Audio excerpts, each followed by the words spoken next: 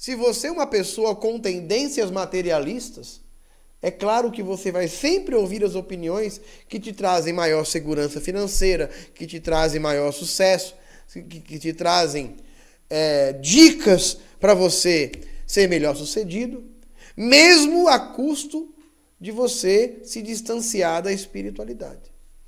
E eu estou sempre o tempo todo dando conselho para as pessoas. Mas e a Torá?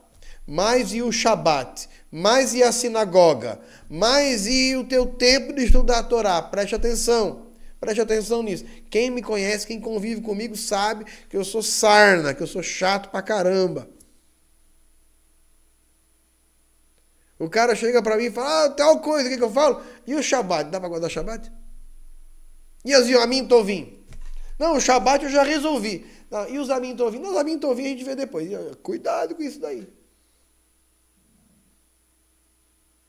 Né? Porque se eu falar o contrário para você, aí, cara, pode achar outro rabino.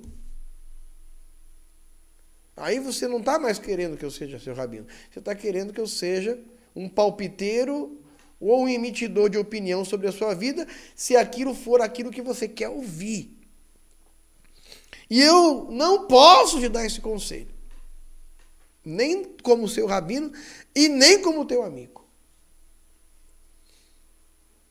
Por isso que a gente não dá conselho em pé. A gente não dá conselho a não ser que você queira ouvir e pedir de fato a posição de alguém que queira te dar um conselho.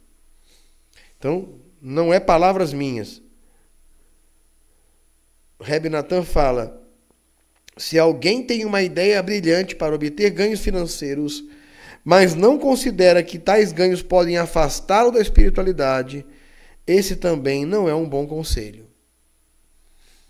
Então, é claro que nós, como praticantes da Torá, temos nossas limitações na hora de fazer as escolhas que podem ou não abençoar a nossa vida. Abençoar a nossa vida não necessariamente é me enriquecer financeiramente.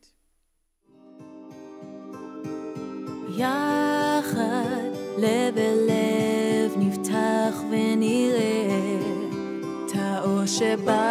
שבשמיים יחד לב אל לב נפתח בתקווה